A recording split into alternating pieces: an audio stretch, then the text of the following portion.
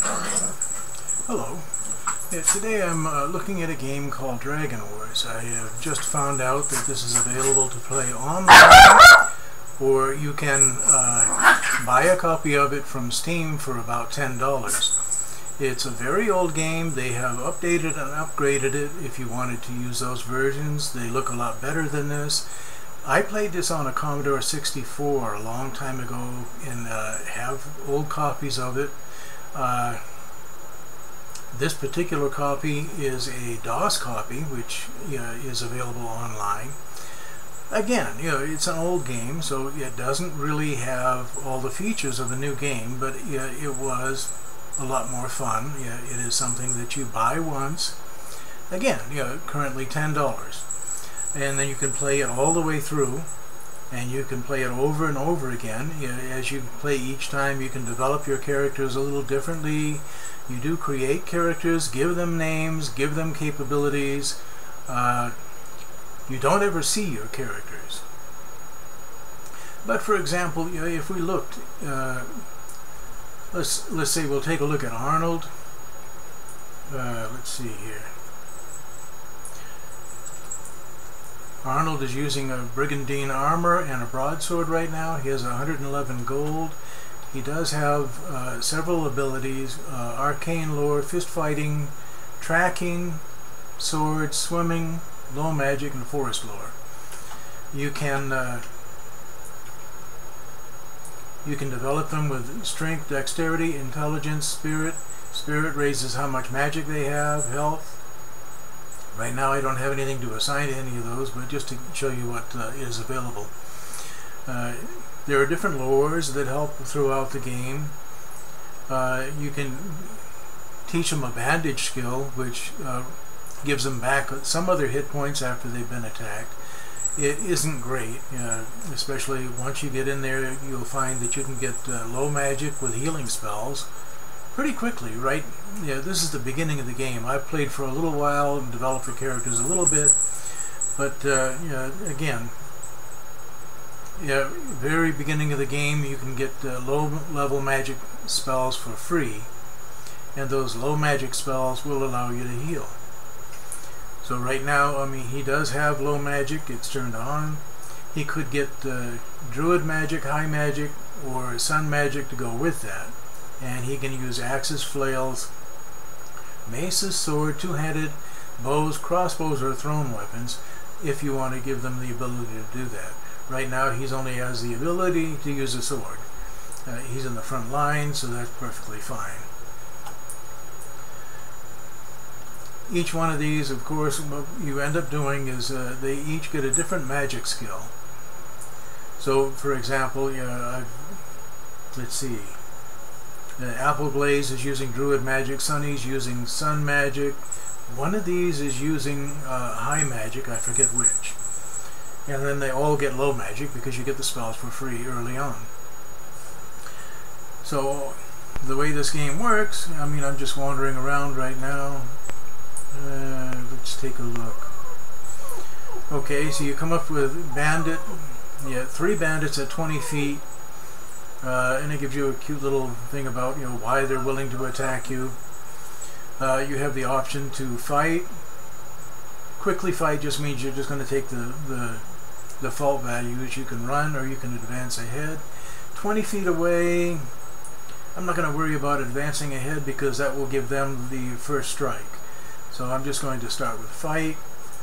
And you can, uh, in fighting, you can attack, dodge, block, cast a spell, use an item, select a new weapon, load your weapon if you have a bow or a crossbow, and each character gets the chance to run or to move.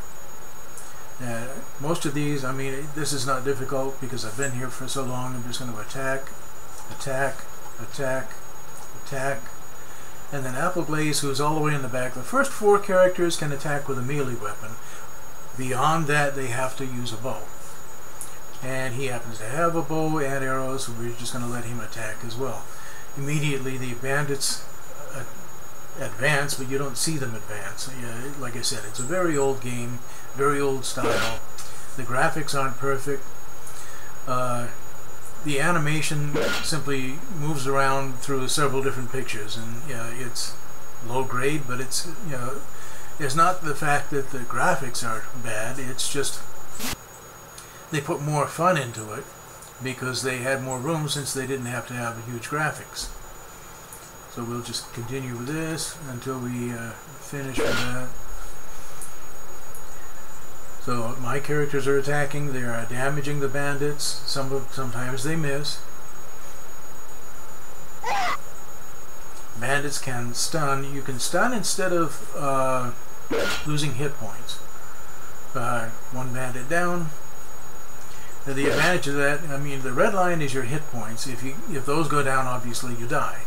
If you're only getting stunned, like they're doing right now, eventually you'll be unconscious. You can do a healing spell on them and bring them back conscious, and you're fine. One bandit left.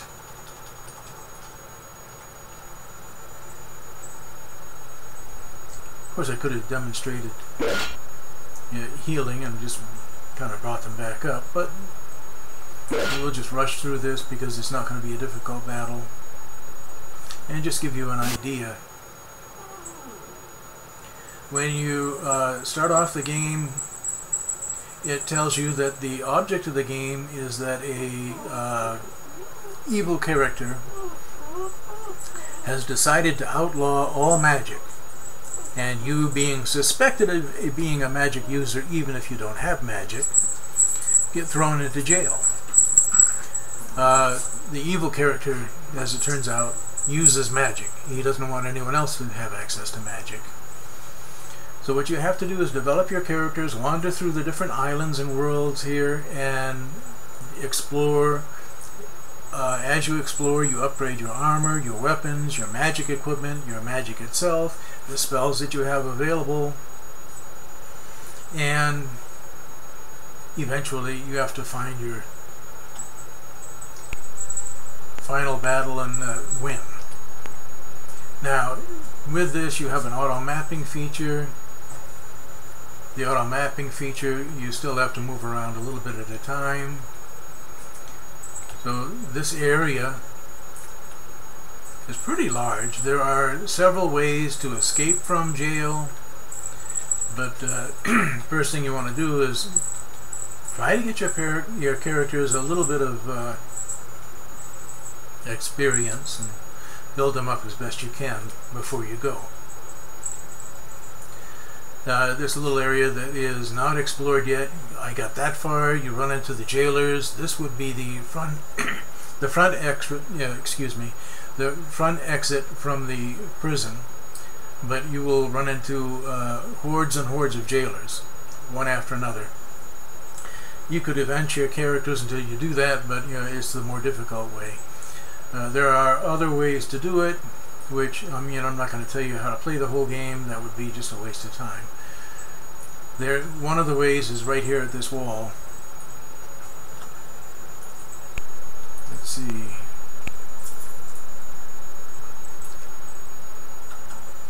Other way uh, that way. Uh-huh. So that takes you behind the wall there is a whole area out behind here that you can explore, which I'll probably do next, just to advance the characters a little bit more, give them a little bit more experience, and get them up to as high a level as I can. There are ways to cheat and so on, but just to give you an idea as to the look of old games, the way that they were, and the things that you can do. Again, this is a free copy of it downloaded from an old abandonware site. Uh, I think I downloaded this a long, long time ago because, as I say, I played it on a Commodore 64. They are enough fun so that you can enjoy them over and over again. And when you start off, I'll just mention you, you start off with four characters. Apple Glaze, uh, Ulrich, I think, was one that uh, as I wandered around the prison, I found a volunteer who was willing to join me. You can have up to six characters, and each one with different things. Uh, before I close out, I guess I will just kind of take a look. Uh, let's see, trolley, low magic. So these are the low magic spells you get for free right at the beginning. You can cast Mage Fire against your opponents, Charm, Lesser Heal for healing your opponents, Disarm your opponents, Luck, or one of the exits immediately goes to an underground area and you need a light, so you get a Mage Light. But again, I mean, uh, just a cute old-fashioned game that is fun and easy to play and as I say, yeah, I did notice that they have an upgraded version. The graphics look a little bit better, but it plays basically the same way. Available on Steam for just $10. Uh, I did see also that there is a site that you can go to that you can play Dragon Wars for free online. I think it's free. Yeah, I didn't bother because I already have a copy of it. Well, thank you for watching, and I will say goodbye and uh, hope that you enjoyed the video. Bye.